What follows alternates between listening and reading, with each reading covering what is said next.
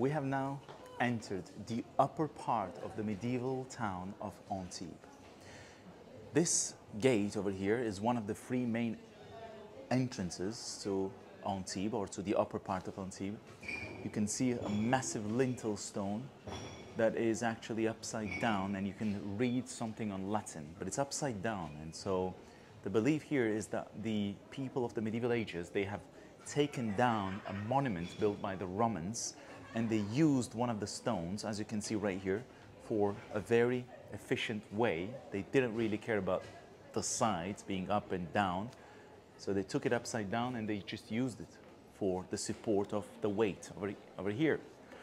On this side, you can see a piece of art made by an artist who is now a local artist. He's originally from China. His name is Ho Lui.